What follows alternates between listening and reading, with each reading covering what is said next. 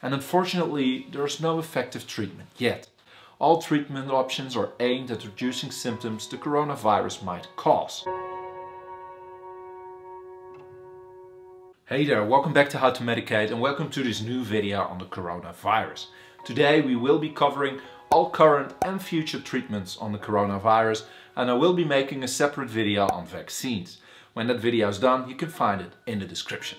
Now for those of you I'm meeting for the first time, my name is Raoul, I'm a medical doctor from the Netherlands and I'm making weekly medical videos to educate myself as well as you, my viewer. Because I believe that educated people make healthier decisions and that's what this channel is all about.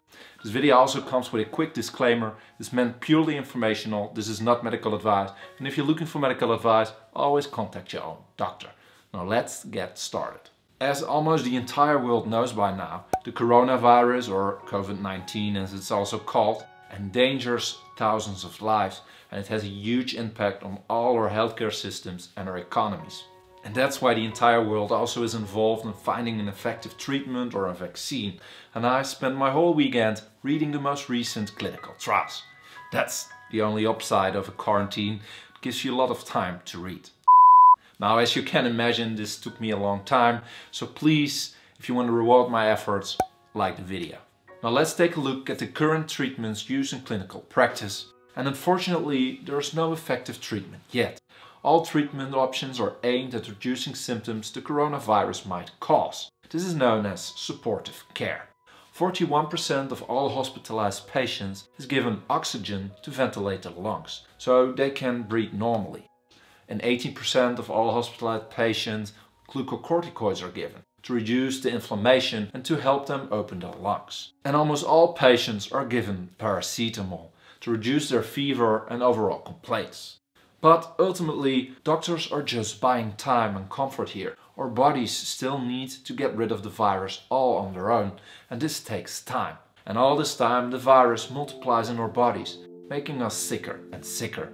And that's of course where an effective treatment would come in handy. Now in order to find the most effective treatment or a vaccine for that matter, we need to do a lot of studies, clinical trials. In these studies, we test the effectiveness of the treatment as well as possible side effects and dangers. And this takes time, a lot of time, especially when a drug is not yet approved to be tested on humans in general or specifically on COVID-19 patients. But more on that later. Now by March 20th, about 86 clinical trials were started to test a certain treatment for the coronavirus. And I will discuss the most interesting ones here. Now some of these trials are done to test a certain antiviral drugs.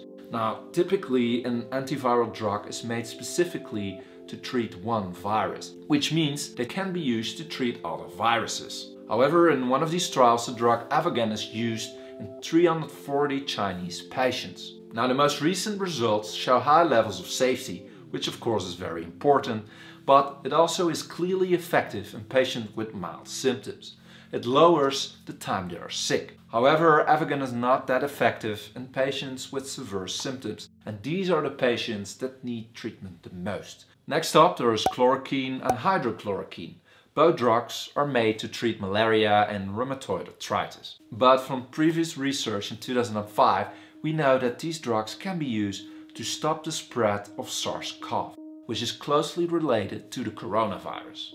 Now cell studies already have been done and indeed they showed that it stopped the coronavirus from entering a human cell and replicating in it and replicating in it, which is good news of course. And therefore clinical trials are started to check the effectiveness of these drugs in humans and by now there's a lot of anecdotal good news, however no real evidence yet. So in the upcoming months these clinical trials will gather a lot of evidence and will indeed show us if these hydrochloroquine and chloroquine are effective treatments for COVID-19. Time will tell.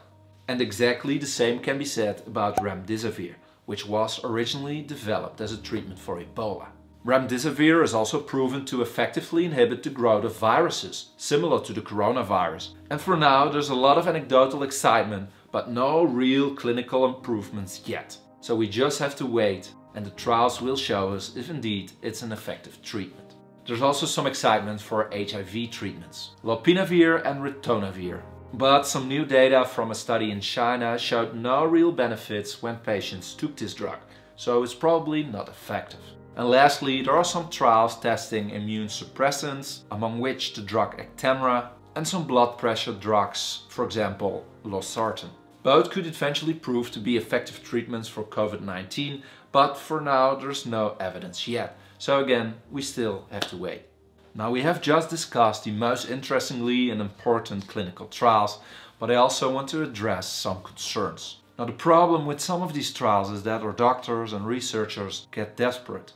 Usually we use an elaborate, evidence-based process to test medication. We need to compare it with a placebo effect and see if it's safe and what the side effects are. This process takes months or sometimes even years. We start testing the drug in cells and then work our way up in mammals, from mice to ape, and lastly we test it on humans.